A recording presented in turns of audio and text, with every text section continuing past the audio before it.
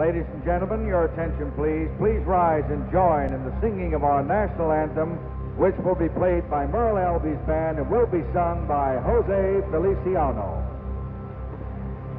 Well, Jose Feliciano was sort of the first one who had a hugely controversial version of the anthem. I mean, it's it's game five of the De- World Series. It's in Detroit, um, and he later said that like this destroyed his career. That he got all this pushback. Apparently, there were like veterans who were throwing shoes at, because they were so angry at the television, and people just literally were stunned by his performance.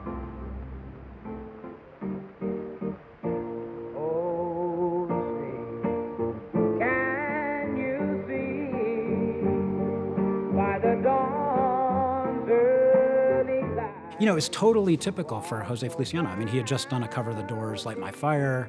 I mean, it's this kind of, you know, laid back, soulful version of the anthem.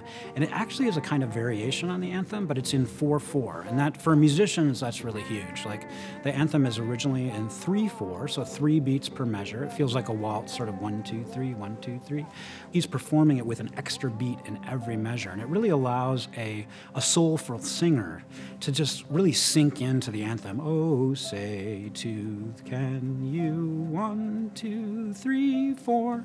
So it just that extra beat just really makes it, you know, into a pop song, but also into a, a hymn. So it's much more like you're in church, you know. So there's an aspect of it I think that that brings out the sacred nature of the Star Spangled Banner. So ironically, you know, Jose Feliciano is is dissed for having desecrated the song because people are so surprised it just sort of hit them from left field. But he opens up the possibility, really, for every later stylist who takes on the anthem to do something really personal. And I think for Feliciano, who is from Puerto Rico, you know, he was accused like, oh, what's this foreigner singing our anthem? Well, he's an American, right?